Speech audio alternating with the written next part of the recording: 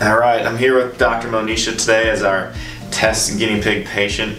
Um, she just happens to be going uh, through some of the things that we're going to be describing today. Uh, experiencing some neck and uh, lower head pain um, and some temporal type headaches. So we're going to go through today what we typically do to help someone out who's in this exact situation. Um, so after an exam and consultation and everything to figure out what's going on, we've already done that with her. So I'm just going to go through and show you a few different things that we typically do in the office to help someone out in these types of situations. Uh, a big part of it is to do some soft tissue work. Uh, a lot of times the upper traps, the levator back here, and the SCM and scalenes are playing a big role. Also getting down into the pecs uh, can, can really help loosen these things up. Uh, you see a lot of people with this type of posture, rolled forward and head forward due to desk jobs, due to different traumas in their lives, and really helping to open up someone and bring their body into a good upright position where everything is stabilized and being supported properly is very important for this. So some of the things that we'll do is we'll just get in and do a little bit of soft tissue work on these traps. Use some sort of movement based therapies with patients. Help loosen up some of these muscles. Now each one of these is going to be a little bit more abbreviated than what I would typically do if we had more time. So usually 15 minutes, half an hour worth of soft tissue work for someone or even longer depending on how long this has been going on and what exactly has happened. And then, so that's trap and levator. You can get in and do the SCM. This is a big player in all of this, with anterior head carriage. And scalenes as well.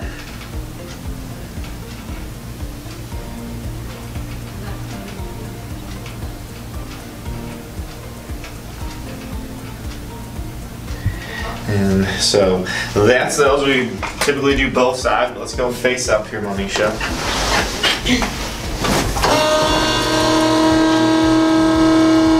A few other important ones that we're going to work on are going to be the temporalis muscles, the jaw. We can do masseter lateral pterygoids, and you get to the medial pterygoids here and even through the mouth. So we'll probably work on some of those.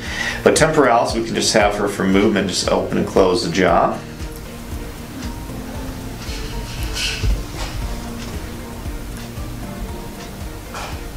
A lot of times patients will present and say, oh, this is where I rub a lot of times when I get my headaches. And they're on the right track. They're listening to their bodies, which is great.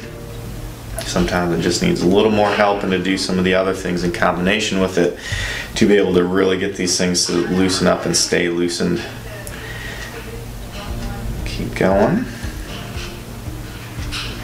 The masseter and lateral pterygoids here.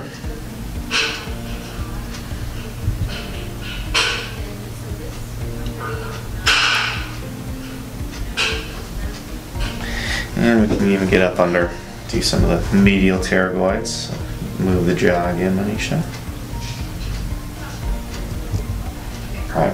Like I mentioned, the pecs can play a big role. You can sort of see how her shoulders roll forward a little bit. So big thing we have to do is get that to open up. And we can just do some movement with the different pectoralis muscles here. So you can have the patient move through and bring that arm up and down.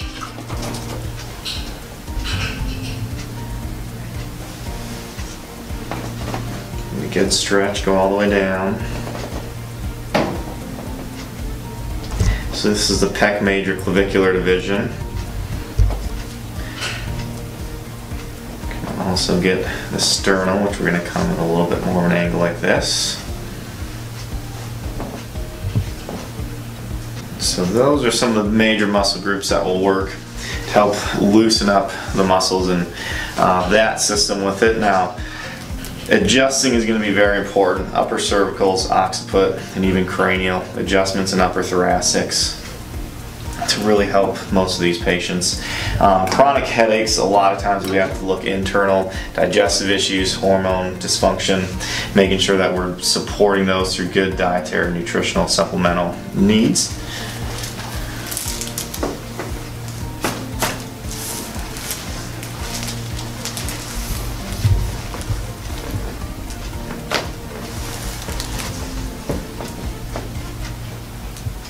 We're gonna check some of the cranial bones here. How's this, Manisha? A little tender. About here, Same. here, Same. here. So a little bit there. So we're gonna work the inside of the mouth now. Um, both the pterygoid, medial pterygoids and the palatine bone, which is a hard palate. So go ahead and open. I'm gonna work the muscles first. Tender here. So just open and close to my finger.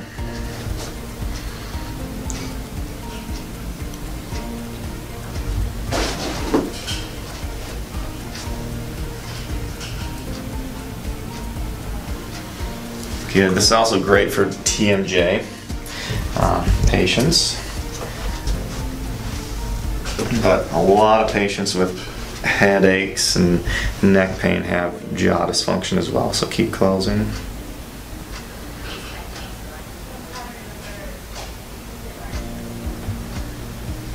Tender on one side than the other? Mm-hmm. No. All right, let's see how these did now. How's this? Better. How's this? Better.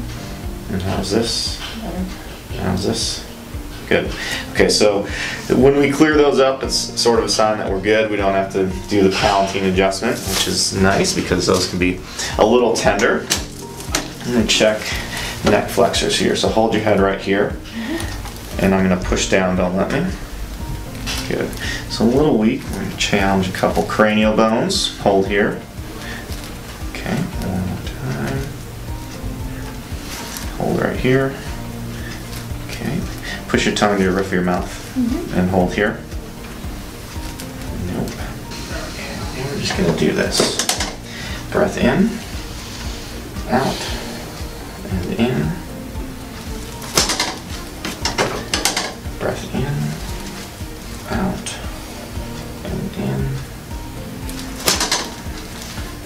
here. Don't let me push. Uh, That's better. Do a few more of those.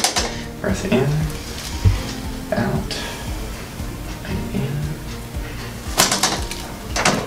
And breath in, out, and in. Hold here. Don't let me push. Good. So I got a decent amount there. Let's flip over and go face down. Upper thoracics moving.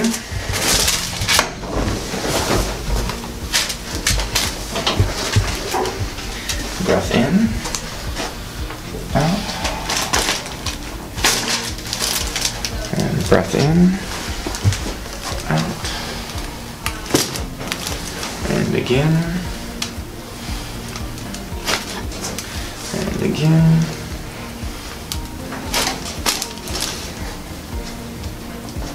Good. That should do it.